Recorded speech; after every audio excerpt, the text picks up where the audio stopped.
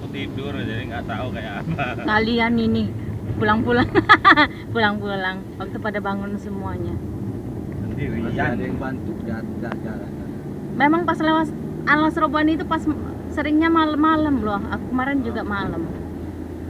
Karena mobilnya yang dari sini bro berangkatnya.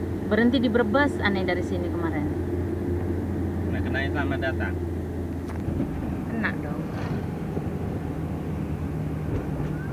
udah diberhentiin terus hidupin lagi biar Udah. Satu menit satu menit kan? Ya, jadi waktu uploadnya Nah, ini bawang lama. itu kayaknya tempat orang ini. sisi kiri sisi kiri Udah sisi kiri, lautnya doang.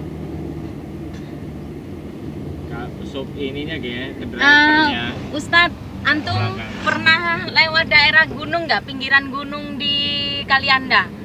oh iya Kayak gini ya. juga, Ini apa namanya? Kayak gini juga suasananya. Malah lebih ekstrim loh. Ini Raja Basa. Bukan? Oh iya Raja Basah. Raja Basah betul